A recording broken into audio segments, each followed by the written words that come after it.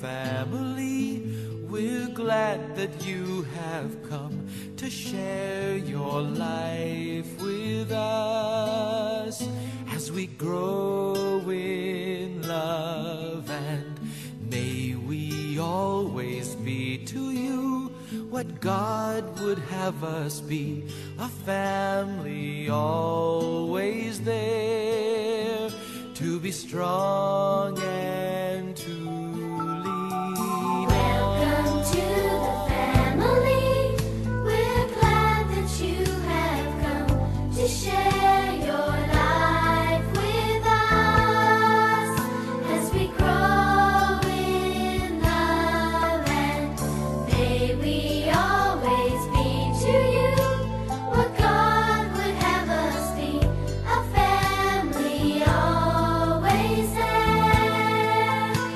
be strong.